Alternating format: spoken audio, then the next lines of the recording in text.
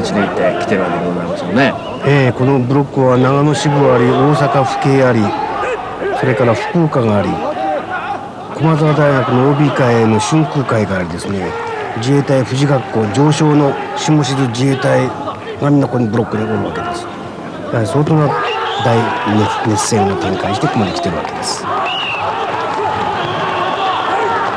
双方ともに強豪の中を勝ち抜いて決勝戦ということになるかと思いますが。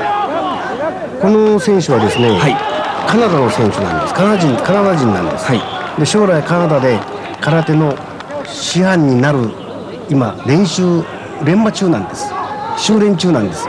現在は国内にいらっしゃるわけですえかあの小金井支部に所属しております属していて、ゆくゆくはカナダの方で師範になられる。はい、はいもう現在三段ですしね。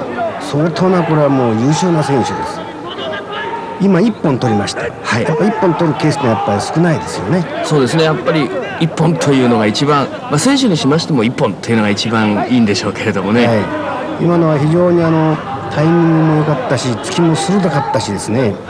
であのこっちのあの高崎支部の選手が全然防御がなかったから無防御だったんです、で一本になったんです